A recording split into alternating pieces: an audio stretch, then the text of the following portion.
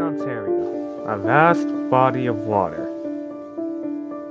But what seems so nice on the surface can seem different under the water. Many invasive and also scary creatures lurk under the water. Let's take a look at them, shall we?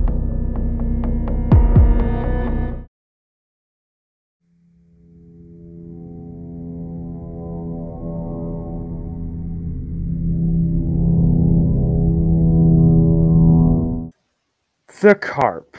This fish was placed in the Great Lakes because at the time it was a very valued food source. Now, not as much, but since they are the literal Magikarps of the fish kingdom, they can survive very harsh environments, making it difficult to restrain and contain them.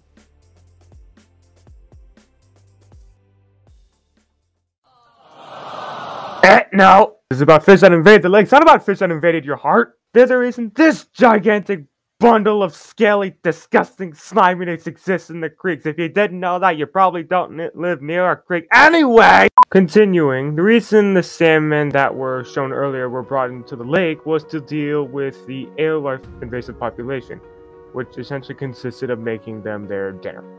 And they came in massive numbers.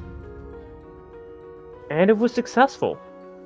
However, now you have a predatory fish not where it's supposed to be and out of food. So, what does it go after? Well, the native species, of course, which is an entirely new can of worms. okay, I'm gonna stop now. Now, let me introduce you to the fish of your nightmares the lamprey. And before you ask, no, this isn't fake, this is all real. Scientifically known as Petrom... no, Petromesic... what, no, what the heck? Petromonzif... that's correct. Scientifically known as this, this is not a species of creature you want to encounter in the water, a species that has survived a few mass extinctions. The lamprey, while thankfully not in the creeks leading to Lake Ontario, was able to enter Lake Ontario via the St. Lawrence River, thanks to its, its enlargement by us in order to get more stuff. The feeding habits of this creature are, are, as you'd expect. First, it latches onto the side of the large prey using suction from their cup-shaped mouths, then they twist their bodies so that their curved teeth can lock in the fish's flesh. Finally, it will use its toothed tongue to rasp and grind away at the victim's flesh to consume bodily fluids such as blood. When it's done, it will leave a mark on the victim's body, which generally means that the victim will be more vulnerable to attacks.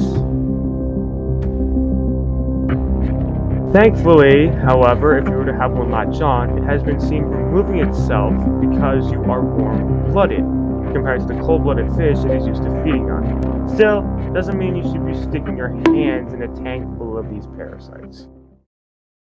Thank you for watching this video and getting your daily dose of unnecessary fear of the ocean. I'll see you next time. Bye bye.